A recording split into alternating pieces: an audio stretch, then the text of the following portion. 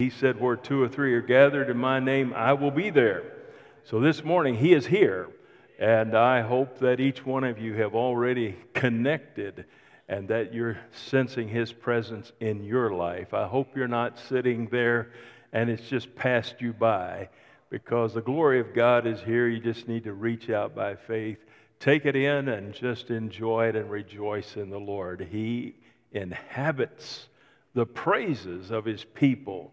And as we just bear down in praise and lift up that sacrifice of praise, uh, oh, He enjoys being there and being in our midst, and uh, we want Him here.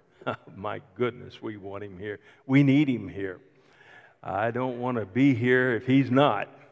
So uh, good to see all of you here. I hope you came with expectation because as you come with expectation, God will meet you. And so today, we're looking forward to the last chapter of the book of the Revelation, the revealing. So turn to the very last book in the Bible, the last chapter, chapter 22. And we're talking about heaven and his coming. And so there are so many wonderful truths out of this passage that I really want to. Uh, I really want us to focus on. I'm going to read down through the first seven verses. So if you have your Bibles or your electronic Bible or whatever you have there, open it up. There is a Bible in the pew rack in front of you if you don't have one.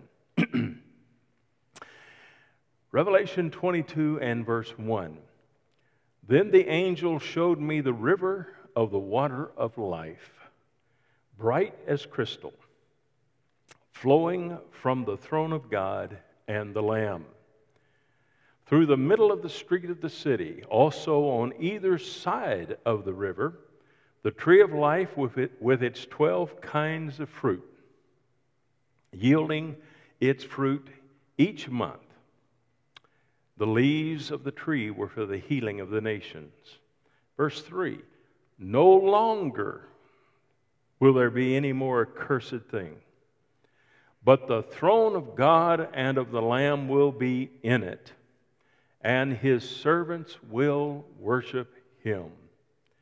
They will see his face, and his name will be on their foreheads, and night will be no more.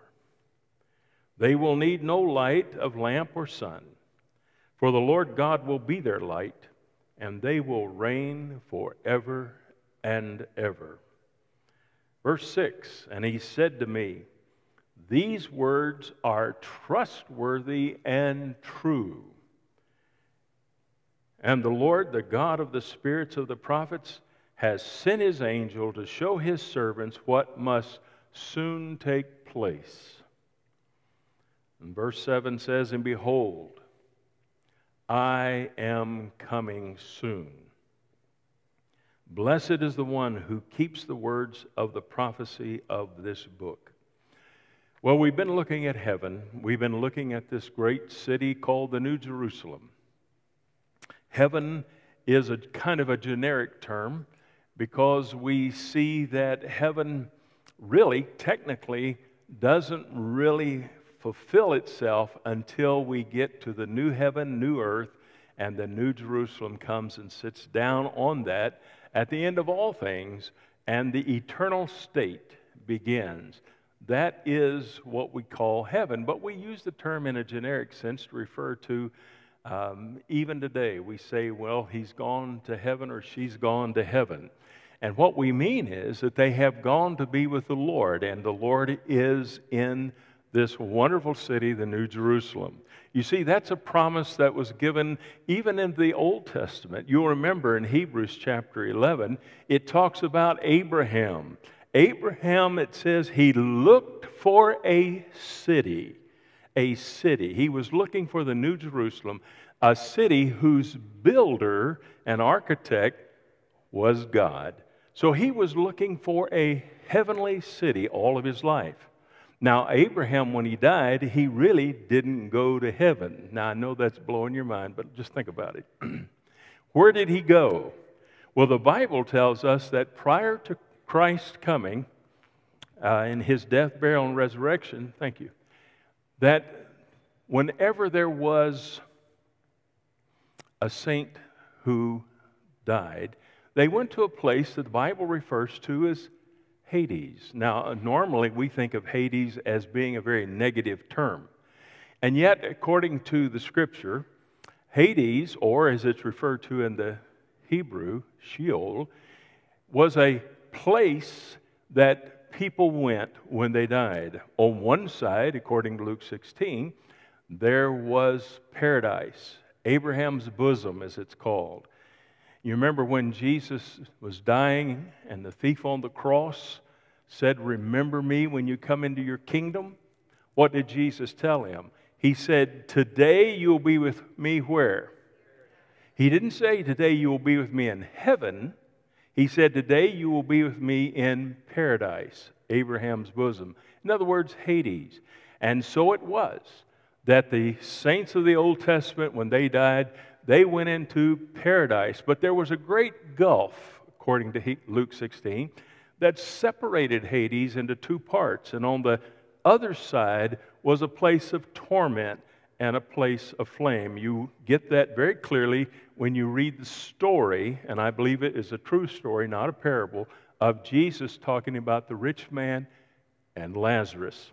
And so we find that heaven was really kind of unoccupied, as it were, until Jesus, according to Ephesians, he, when he died, the Bible says that before he ascended, he first descended.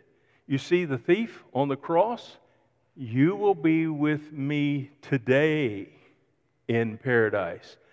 So, it was always believed and taught that paradise or Hades was in the center of the earth somewhere. And so, Jesus, when he died, he went to paradise. Now, what did he do in paradise? Well, the Bible says he proclaimed a message. And what was that message? He says, All of you who have looked forward to your redemption, today's your day. You were, as it were, and I've explained this before, you were kind of saved on credit. Your faith caused you to give sacrifice to try to cover your sin. And your sin was covered, but it wasn't taken away. But when Christ died on the cross and he paid for the sin debt, it's like all of their debt that had been covered was now finally paid. And so here they were rejoicing when Christ came and proclaimed to them Today's the day of redemption for you. Today is the day when it is paid for. And of course, on the other side, those who had rejected God, they heard that message too. But for them, it was not a message of hope, it was a message of finality. But for the saints that Jesus came to, it was the day they had longed for. You see, Abraham did not enter into the promises, he saw them afar. He rejoiced when he saw them. See, Jesus said, Abraham, he saw my day and he rejoiced. But he didn't get to experience the promises until the day when Christ descended after he died on the cross. And then the Bible says he led captivity. So, in a sense, paradise was a place of captivity in the sense that they were, had to stay there, they were there. He led captivity, what?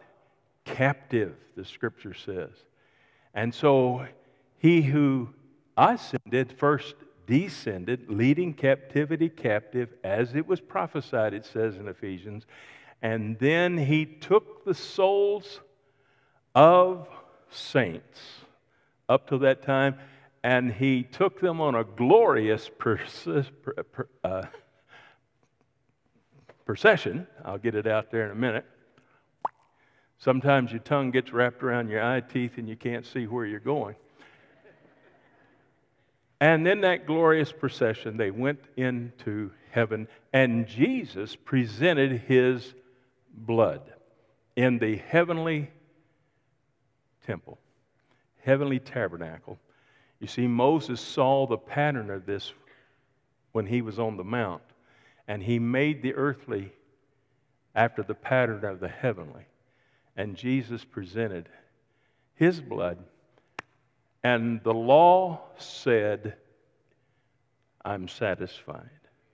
God said, It is finished because Christ had said that on the cross. Wonderful, wonderful. And so on that day, can you imagine entering in the New Jerusalem? Abraham was actually able to walk into the city that he saw by faith. The city he had been looking for, whose builder and maker was God, he was able to experience that. Now, today, all saints, since Christ, those who have put their faith and trust in him, now, when we die, the Bible says absent from the body is to be what? Present with the Lord. Well, where's the Lord? He ascended. The scripture says here that we read this morning that he was what?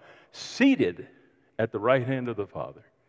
And so he's in heaven, or what we would technically call the New Jerusalem, that glorious city that Abraham looked for. And there they are rejoicing. And there our loved ones are rejoicing. Now, one of these days, all of the saints that are in this massive city, we talked about how big it was last time, massive. It's going to come and sit down on the totally purified new heaven and earth. And so when it comes and sits down, after, as Peter says, after it has been really cleansed by fire, fervent heat, all things are made new. The city comes down and sits on this new earth. And that begins the eternal state. The judgments are over. Satan is cast into the lake of fire. By the way, I want to tweak your mind a little bit more here. Just as, in a technical sense, no one is in the new heaven and new earth yet because it hasn't come into being. And so, just as in the Old Testament, no one went to heaven, so hang on, there's nobody in hell today. Oh, wait a minute. Ah, preacher, you just fell off the deep end. No, think about it. Remember what I said? People, when they died, they went where? Hades. Hades had, according to Jesus' teaching, two parts one side was paradise, one side was called a place of torment. You remember the rich man, he said to Abraham, he said, Abraham, would you send Lazarus, the guy that was sitting at my gate begging that I despised, would you send this man just to dip his finger in water and touch my tongue? For I am tormented in this flame. Now, in a generic sense, it's okay to use the word hell. But in a technical sense, hell is the lake of fire. Nobody is in the lake of fire today, but they are in flame and torment today. And they have been since the beginning. One day, the Bible says, here in Revelation, we're going to read it, and we have read it in chapter 20 death and Hades are delivered up to the great white throne. Remember, we went over that. And there, everyone is judged according to their works. And it says, death and Hades are cast into the what? Lake of fire. The lake of fire is technically what we refer to as hell. So, what happens today? People go to the place of torment today who have rejected Christ. Those who have decided to live their life their own way without God and they don't want God, they've rejected God's love. God has given them their own way. They go there. And they wait all through the millennium until the great white throne at the end of the millennium. And then all the dead, great and small, John says, were delivered up out of Hades, judged, and then in the lake of fire. So, in a technical, now again, technical sense, no one is in hell today because hell is the lake of fire. Today, people are in torment and flame, but they will be delivered up later. Now, you're saying, and I needed to know this, why?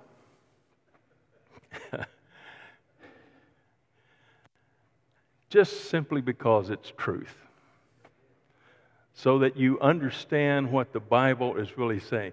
You know, a lot of times people say stuff and they say, well, the Bible teaches this and the Bible teaches that, and I'm sitting there saying, eh, no, it doesn't. But you have to be careful because you don't want to hurt people's feelings. But sometimes, you know, I'm sitting there thinking, well, God helps those that help themselves, the Bible says. Eh, no, it doesn't.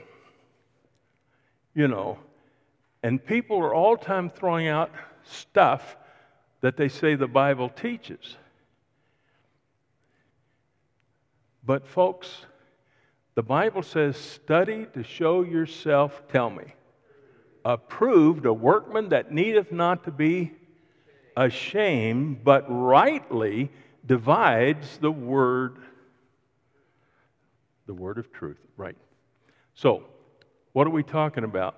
We're talking about heaven today, the real heaven. The New Jerusalem is part of heaven, but the New Jerusalem sits down on the new heaven and the new earth that God has purified. And when it sets down like a satellite upon this new earth, that is what we technically refer to as the eternal state, or more properly, that is heaven proper for eternity. Okay? Now, if you go out of here and say the preacher at First Baptist Church says nobody's in hell today, I hope you'll go ahead and explain that. Because if you're not going to explain it, don't say it. Okay. I remember I was listening to Dr. Warren Wiersbe go through this years and years ago, and he said that, and I mean all of us, we set up and, okay, Doc, you got our attention. And he went th- through the explanation. And of course, as he went through, he said, Yeah, yeah, yeah, yeah. And you start connecting all the verses. Yeah, that's why it makes sense now. Okay. But here's what I want to say Heaven is real, hell is. No one takes any delight in talking about hell. We all rejoice in talking about heaven. Well, we've been talking about heaven. We talked about its size last time. We talked about the gates of pearl. Each gate was a pearl, three on the north, three on the south, three on the east, and three on the west. And we said that there were the names of the 12 tribes on each of those 12 gates. There was an angel at each gate. And then we talked about the foundations that the new Jerusalem set on. And each one of them was made of a gemstone. There was diamond foundation, there was a ruby foundation, there was a sapphire foundation, there was an emerald foundation. I mean, you think about how massive this city is, and then you think about rubies and diamonds that many. I don't know. I think if you need rubies and diamonds in your mansion, you just probably pull out a drawer and there's a whole handful of them in there. You just scoop them up. You see, we get so caught up in stuff. And heaven, well, it is so completely filled with everything that we think is valuable. And God says the real value of heaven is me. You see, for me, being in heaven is not about gold streets. I mean, that's great. That's great. I'm, I am so glad. I guess God is just telling me that, you know, what we value so much down here, they use for pavement up there. You know, it's just. But the thing that thrills me the most is I get to see the one who died for me. I get to embrace and be embraced by him. I get to look in his eyes. I get to hear him speak my name.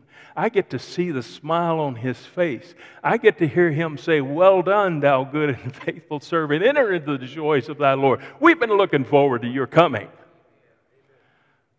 Now, that's what makes me want to dance. I'm not the, the pearl, the diamonds. Yeah, that's great, wonderful. And if you've never had a whole lot of that, it doesn't, doesn't really matter a lot. It's just God's way of saying what man thinks is most precious. I use it for building material. But what's most precious is the one who gave his life for me. And notice what it says that God's throne is in the New Jerusalem, in this city. And in the throne room of God, which is a massive throne room, I mean, it is so massive. And there is the crystal sea out in front of his throne that we talked about. This massive diamond arena in front of his throne. And out of the throne, and the throne is massive, and he and the Lamb, or Jesus, are sitting there on that throne. And from that throne, the headwaters flow what is called the water of life, the river of life. And the Bible says it shines, it looks like crystal. Oh, and it's so refreshing. And I kind of think, well, we've got God the Father, God the Son, where's the Holy Spirit? I think the river of life flowing kind of speaks to me of the Holy Spirit flowing. And so, what does it say? It says that in the middle of Main Street, now every city has a Main Street, I guess. The New Jerusalem has a Main Street, huge Main Street. And the Bible says it's like a boulevard because right in the middle, down the middle of Main Street, flows this water of life, this refreshing, crystal clear water of life. Wow. And it flows throughout the entire length of the New Jerusalem and flows down upon the new earth. What a, what a tremendous, tremendous sight that's going to be. Refreshing. And then it says something even more astounding. Not only that, but on either side of the river that flows down on Main Street, and of course, there's, I don't know, traffic going both ways, I would imagine. And this tremendous river says on either side of the river, there is the tree of life. Now, where was the last time we saw the tree of life in Scripture? Remember? Genesis 3. And you remember after the fall, God said, We can't leave them in the garden now that they've eaten the tree of the knowledge of good and evil. They eat the tree of life. They don't need to live in fallen bodies for the eternity. They need to live in redeemed bodies. And so the Bible implies that the tree of life was removed. Well, where was it taken to? Well, the next time we see it, we see it in the New Jerusalem. And it is an amazing tree. It must be huge because it spans on either side of the river, kind of like banyan tree. You know, it has roots that go both sides. Some say, well, maybe linguistically what it refers to is tree lined, that there are numerous trees of life. The only problem with that is, is that in the Old Testament it's spoken of as singular. In the passage here, it's spoken of as singular. Now, it also says that this tree of life produces fruit. And it has 12 manner of fruit, one for each month. Now, somebody says, well, wait a minute. Um, I thought there was no time in heaven. Well, time does not affect us in heaven like it affects us down here. But there is at least some kind of a measurement because it says one fruit for each month. So every month there's a different fruit. Some think it means that all 12 fruit are, are on one tree all the time, but I don't gather that. I gather that it goes through cycles. And the Bible says also that its leaves were for the healing of the nations. Now, I take this to mean that before the new heaven and the new earth are made, that on the millennial earth, where nations and people are living, before the end of the millennium, that whole thousand year period, the New Jerusalem kind of acts as a satellite that the redeemed saints can go back and forth to. And that the tree of life, which is up there, that the leaves are brought down for healing purposes. Because there will be people in unredeemed bodies that are born during the millennial kingdom, and so this is why they're going to live for a long time, plus the fact the curse is removed. But in heaven, it says there is no longer anything in verse 3 that is accursed. What is, re, what is part of the curse? Well, we can, we can name a lot of things. We know that there is so much that has come with the curse when man fell, death being the biggest one, disease, heartache, labor and childbirth. There is also the matter of the earth being cursed so that when you want to harvest, you have to fight all the pestilence, you have to fight the thorns, you have to fight everything in order to get the harvest in. But on the new heaven and the new earth, the curse is banished. No more death, no more crying, no more sickness, no more pain and sorrow. No curse of any kind will be in this new Jerusalem. Wow, what an exciting thing it will be. And it says, and his servants will worship him. That's going to be a big part of heaven is worshiping the Lord and we're having worship. Can you imagine what a worship service in heaven would look like?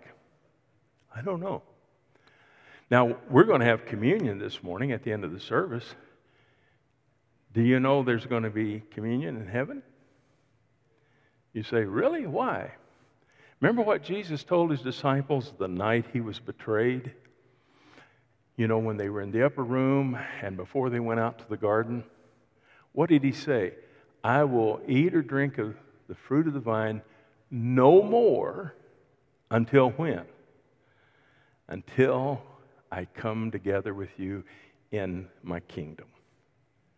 So we know that in the Jerusalem, when the saints are gathered, part of the worship service will be remembering the sacrifice of our Lord. Why? Because that's why we're there. That's how we got there. And we're so excited to be there. How many think you're going to be excited to be there? Think you are? Yeah. Amen. We're going to be excited. And can you imagine the Lord Himself leading a communion service in remembrance of me? Mm. Did you know, and I've said this before, the only man made thing in heaven are the scars on Jesus' hands and feet and side? It's the only man made things in heaven.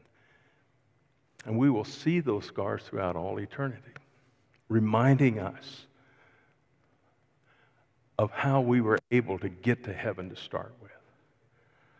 Certainly not on our own good works. Notice it says also, let's continue. This is so much here, I'm going to have to speed it up. Verse 24, this, uh, verse 4, it's as exciting and they will see his what? Face. What will it be like when you see the face of Jesus for the first time? I can't imagine. I can't even come to grips with what I will feel or what I will do. I haven't tried to sit down and figure out now, when I see him, I'm going to do this and I'm going to say this and I want to. I got a feeling when I see him, I'm just probably blubber. I don't know. I don't know. Maybe I'm just going to shut up and let him do all the talking. You know, if I could get out three words and say, I love you, boy, I'd be doing really good. It says, They shall see his face, and his names will be in their foreheads. Well, this could be literally or symbolically. Symbolically, in the sense that we know who we belong to. Literally, in the sense that, you know, our crown will have his name etched on it, and we wear it. and so is everywhere you go. You see, there's precedent for that because in the Old Testament, the high priest wore a crown, mitre, kind of a thing, and had a band, and etched on that band was the name of the Lord, and it said, Holiness to the Lord. So we kind of have some kind of an idea, precedent for that happening too. They shall see his face, his name will be on their foreheads. Verse 5 and night will be no more. We associate a lot of evil with night, don't we? When it gets dark, it seems like evil wants to play. Seems to be the time when evil gathers its strength at night. But here there will be no night. There will not be lamps. When you get into your new dwelling place in heaven, you're not going to go around turning on lights. There's no power plant in heaven. Why? Because the glory of God shines throughout the city. And when you've got the city that is transparent in so many ways, and the light just shines everywhere and no shadows, you don't need artificial light because the glory of God lights every nook and cranny. And the Bible says we're children of the light, and the light dwells in us. So um, we're not going to be in darkness. And it says that we will reign with him forever and ever. I like the fact that it double emphasizes the forever. Forever, and then just for emphasis, and forever. Double emphasis. It means, yeah, forever means forever. No end. Absolutely no end. And we will reign. The idea of reigning has to do with function. You see, heaven is not going to be a place where we can just get lazy, do nothing. There will be function on the new heaven and the new earth for eternity. You see, even Adam and Eve had function in the garden before sin.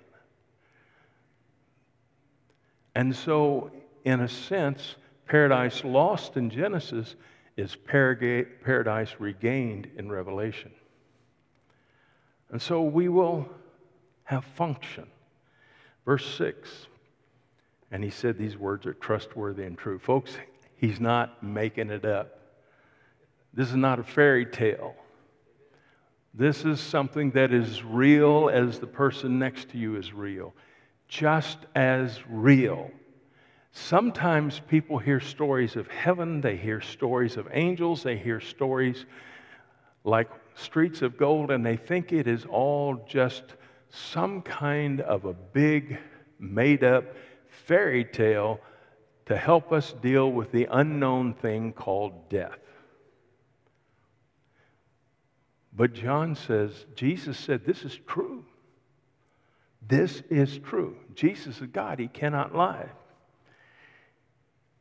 And the Lord, the God of the spirits of the prophets, in other words, the prophets, true prophets, are speaking by the Spirit of God, has sent his angel to show his servants what must soon take place. And so, John is one of his servants. The angel is revealing all these things which must soon take place.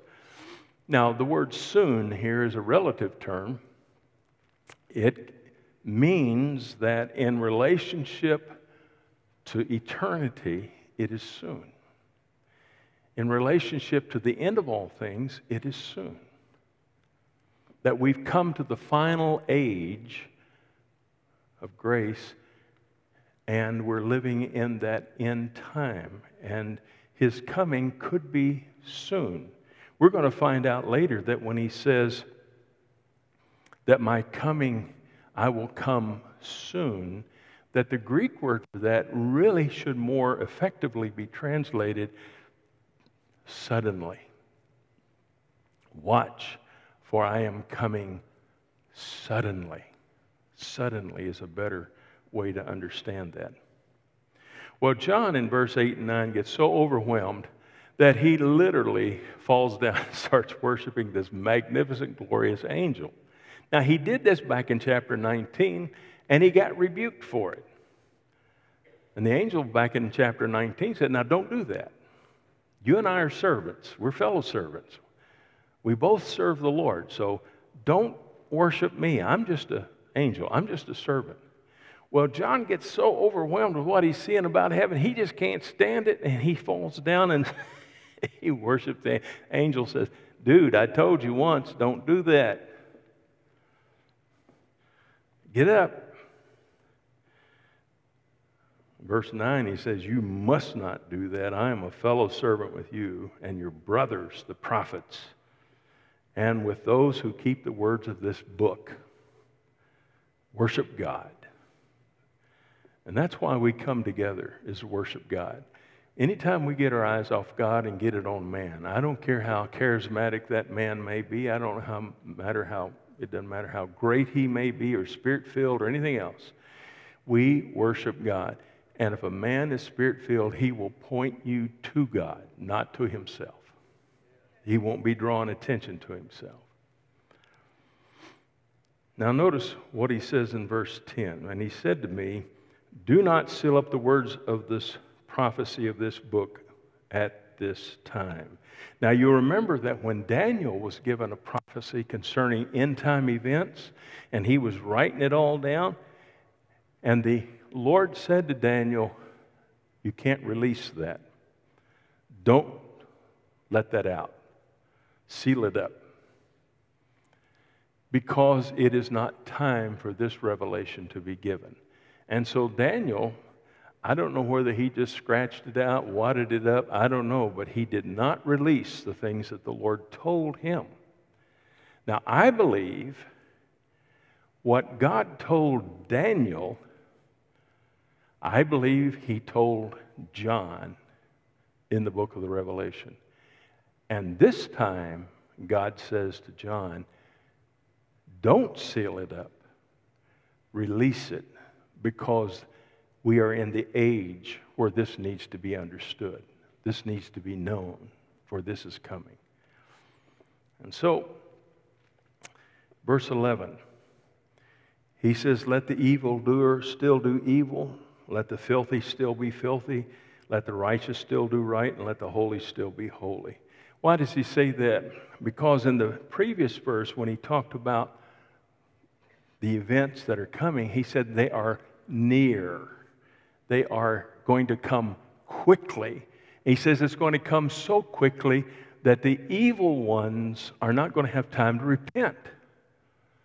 And the righteous ones who are doing righteous they won't have time to do more righteousness.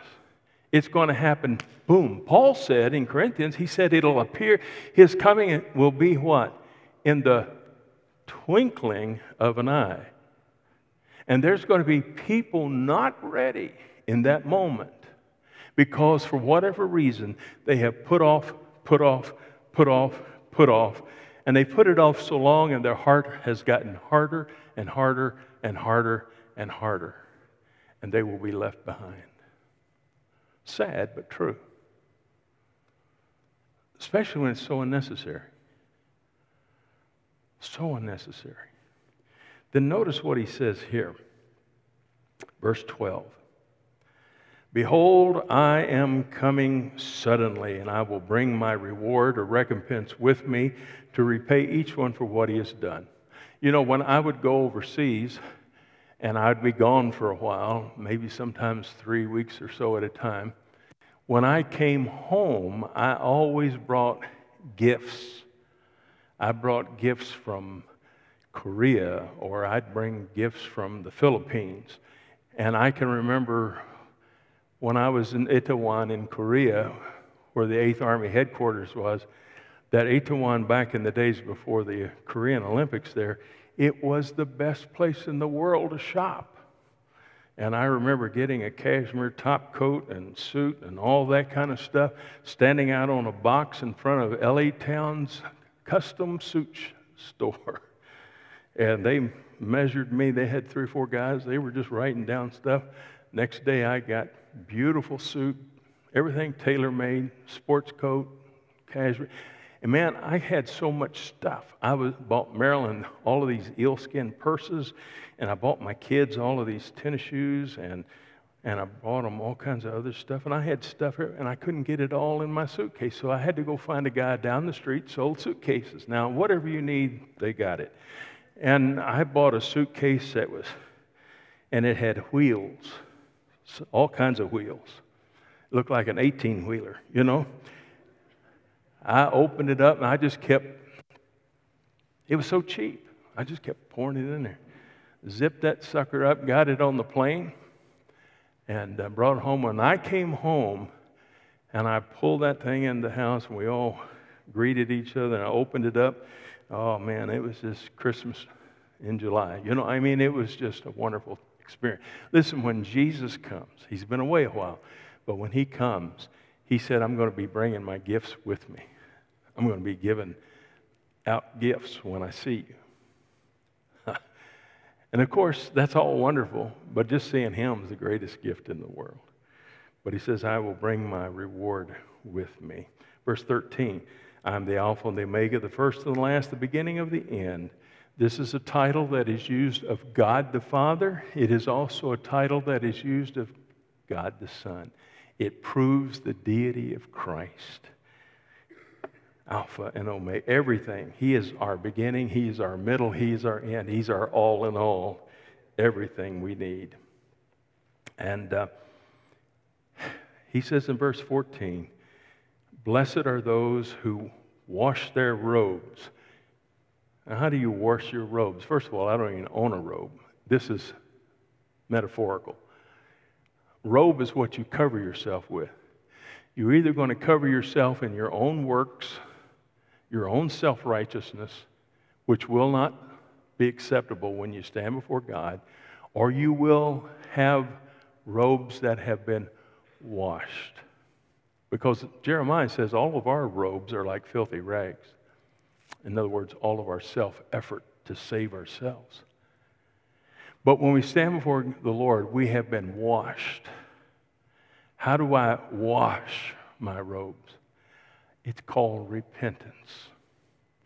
When I repent, turn to Christ, I ask Him to be my righteousness because I have none. That's what the Bible metaphorically refers to as washing your robes. We sing that song, Are you washed in the what? Are you washed in the blood? And then, of course, he says, those who have been redeemed, saved, they get it. They have the privilege of eating of the tree of life. But those who have not, those who are on the outside and practice all of this stuff he mentions in verse 15, they don't have that privilege. They could have had it, but they chose not to. Maybe their pride got in the way. I don't know. Maybe they said no so long they couldn't say yes. But whatever, they will regret that decision for all eternity. Verse 16 says, I, Jesus, have sent my angel to testify to you about these things for the churches. He says, For I am the root and the descendant of David, the bright morning star. Now, notice this root and descendant. He said, I'm the creator of David, but I'm also David's descendant. I'm the root and I'm the descendant. He is both. He's the creator of David, but he's also the what? Descendant of David. He's called of the lineage of David. And then verse 17, and by the way, bright morning star, this is a messianic title. It refers to the dawning of the new day when the bright morning star, which is usually thought of as being the planet Venus, which is so bright, in other words, I am the one who brings forth the new day, the new dawn. Verse 17, and the Spirit and the bride say, Come. Here's the last invitation of the Bible. This is the last invitation. A lot of times we give invitations. Most Sundays, I give an invitation. Why? Because I figure God's been working on hearts and people need to respond. Jesus gave invitations. Invitations were given all through the scripture. Here's the last invitation. Who gives this invitation? Well, it says here that the Spirit and the bride say, Come. The Spirit is the Holy Spirit. Listen, folks, you never come to God unless the Holy Spirit convicts you and draws you. That is a work of the Spirit of the living God. And it says the bride says, says Come. Who's the bride? The church.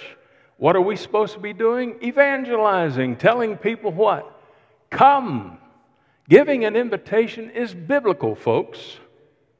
Biblical. Nothing wrong with it. So when the Holy Spirit is drawing, Christians, the bride, are telling people, come, come to Christ. If you don't have a burden for the lost, I wonder if you have the Spirit of God in you. Because the Spirit of God has a burden for the lost. Notice it goes on to say here the invitation says, Come, and let the one who hears come. And let the one who is thirsty come. Let the one who desires to take of the water of life without price. Did you know that salvation is a free gift? That doesn't mean salvation is cheap, it means it's free. It costs God everything. For God so loved that he gave his only, unique, one and only Son, that whosoever believeth in him should not have to perish. Let them come without price. That means anybody, the richest, the poorest, anyone, any color, any educational background, any cultural background, anyone can come. Verse 18, and I warn everyone who hears the words of this prophecy, this book, if anyone adds to them, God will add to him the plagues described in this book. And if anyone takes away the words from this book in this prophecy, God will take away his share in the tree of life and the holy city, which are described in this book. God says, when you mess with my word, I take that seriously. Why? because my word is truth. And I hear from time to time someone will say, well, it doesn't mean that, doesn't mean that, doesn't, you know, and you need to. And after a while, you lose confidence in the Bible because you've heard so many attacks upon it. And God says, don't do that. If you take away, your name will be taken away. If you add to, the plagues will be added to you. Boom. I think God means that. Now, verse 20. He who testifies of these things, speaking of Jesus, says, Surely I am coming soon. Amen. Now, I like that he brackets this. Surely, amen. He's about to make a great statement. Surely. In other words, it is going to happen. I am coming suddenly. A lot of people say, well, that, if it means soon, it's been 2,000 years. That's not soon in my book. That's why I say the word there is suddenly. We don't know when. That's why Jesus says, watch, watch. For in an hour you think not, the Son of Man cometh. He says, Surely I am coming soon. And then we have the last prayer of the Bible. We've seen the last, what? We, there's several last here. We've seen the last warning, the last invitation. We're looking at the last prayer. Come, Lord Jesus. How many of you have ever prayed that prayer? Boy, I know I have. Sometimes I look at the mess on TV and the news and all the craziness and how people are calling evil good and calling good evil. And Jesus told us, I mean, Scripture told us that's going to characterize the last days. And then he says, What? Lord, come quickly. And that's what I say. Lord, come. If you don't come, Lord, we're really messing it up down here. And then the last verse, and then we close. This is the last blessing of the Bible. The grace of the Lord Jesus be with you all. Isn't it amazing that the last blessing is a blessing about grace? Amazing grace, how sweet the sound that saved a wretch like me. God is still in this day extending grace. Grace. Hope you have availed yourself of that marvelous grace. Let's bow our heads. Father, we thank you for our study in the book of the Revelation. It's been a great time, it's been a wonderful time. Lord, as we prepare our hearts for communion, to partake of these elements that represent the death, burial, and resurrection, the suffering of our Savior, what He suffered for us. Lord, may we have our hearts prepared with thanksgiving and praise as we partake. May we examine our hearts, confess our sin, and receive with thanksgiving. For we ask it in Jesus' name. Amen. Let's all stand, if we would, please. Everybody standing. Just before the folks come to partake of the communion, I'd like for us to bow our heads, everyone bowing your head for a moment. Just as there was an invitation given by Jesus here in chapter 22, I would like to do the same thing, following his steps. With heads bowed, eyes closed, would there be someone today who would say, Pastor, today is the day when I want to say yes to the invitation that Christ gives. I want Him to be my Lord. I want to settle my eternal destiny. No one looking around, would you just simply raise your hand and say, Pastor, pray for me. I want to settle the whole issue of my soul with God. No one's looking. Would you just simply hold your hand up just a moment so we could pray with you. God bless. Father God, as we come to this holy moment, I pray that everyone here has made that decision. I pray that no one will put it off. I pray that everyone is looking for your return and is looking forward to being in that wonderful New Jerusalem with you. Thank you for preparing such a place. Thank you for the sweet and precious promises. And we ask all of this in the mighty, mighty name of Jesus. Amen and amen. While you're remaining standing, I want to ask our servers if they would to come forward. We're going to have a server over here at this station. We have a station right down at the front, and we have a station over here. I'm going to be asking that the, uh, the folks in these two seating sections back there, the two seating sections, that you all just file out your left, come down to the front, pick up the elements, and then file back in on the right side of the uh, there, and have your uh, communion there. And here's the thing: this is a time of self-examination. So what I want you to do is when you're ready, when you're standing there and you are ready, then you partake. I will invite us all to partake in a moment, but whenever you're ready, this is between you and God doing spiritual business. You will want to peel back the, the bread part first and then peel back the juice part. So that's, uh, that's the way we're going to do it. This section here and this section here come down here to this here and this little short section right here if you will come this way. And then these three sections back here if you will come over here where glenn is and just pick up your element and then just go right back to your seat. So everybody will go out to your left get the elements come back in and file back in on the right. All right so if you would make your way forward let's come now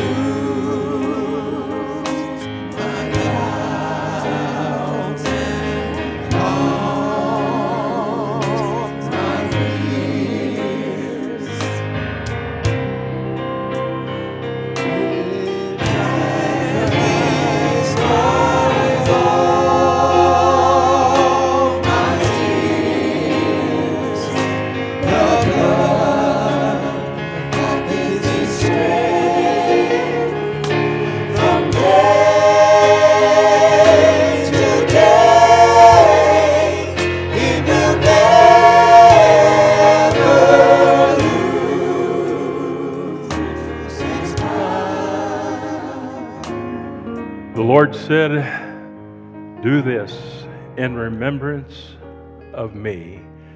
That night when he was with his disciples, took the bread and broke it, and he said, Take, eat. This is my body that was broken for you. And then he said, This cup, take and drink, for this is my blood.